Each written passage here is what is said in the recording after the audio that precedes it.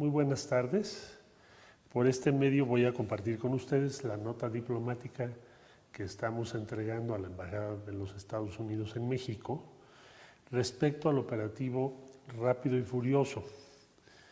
Y dice así, la Secretaría de Relaciones Exteriores saluda atentamente a la Embajada de Estados Unidos de América acreditada ante el Gobierno de México y hace referencia al operativo llevado a cabo por la Agencia de Control de Bebidas Alcohólicas, Tabaco, Armas de Fuego y Explosivos, ATF por sus siglas en inglés, conocido como Rápido y Furioso y que comenzó a implementarse a finales de 2009.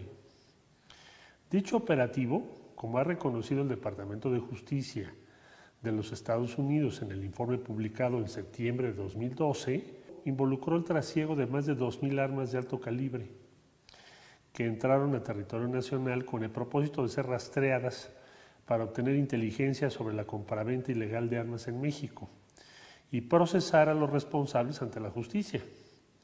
No obstante, estas armas han sido empleadas para cometer diversos delitos, tanto en México como en Estados Unidos, e inclusive en terceros países dando como resultado la lamentable pérdida de vidas mexicanas y estadounidenses, sin que hasta la fecha se haya cumplido el objetivo referido.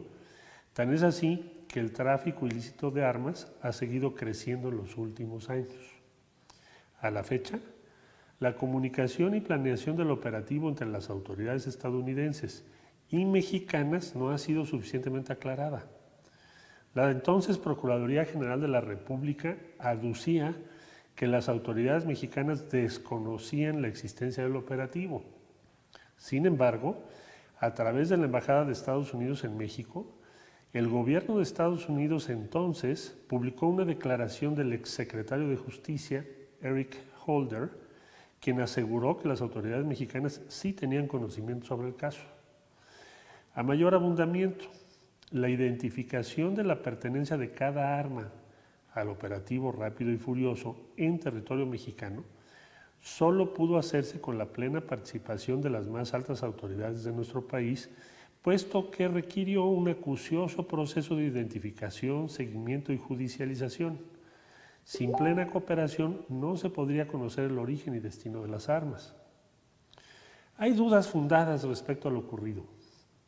Si en efecto como apunta la evidencia descrita, el gobierno de México conoció y autorizó el operativo, entonces estaríamos ante graves violaciones a la constitución política y leyes que de ella emanan por parte de quienes ocupaban los más altos cargos en nuestro país, puesto que habrían mentido al Congreso de la Unión y a la sociedad.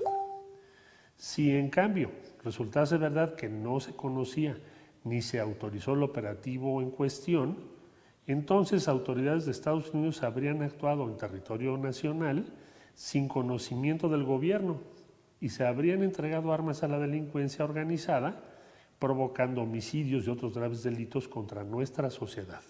Es decir, se habría violado la soberanía nacional de México.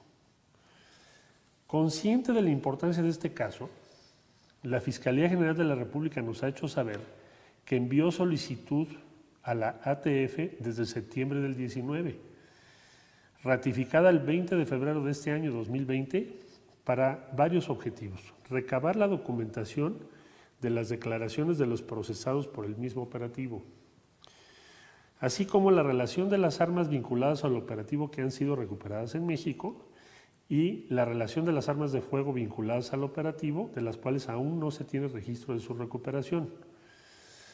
Por todo lo anterior, el Gobierno de México solicita que se le proporcione toda la información que se disponga respecto al operativo rápido y furioso, conforme al ánimo de cooperación y confianza mutua que rige la estrecha relación entre ambos países. La Secretaría de Relaciones Exteriores hace válida la ocasión para reiterar a la Embajada de Estados Unidos en México la seguridad de su más alta y distinguida consideración.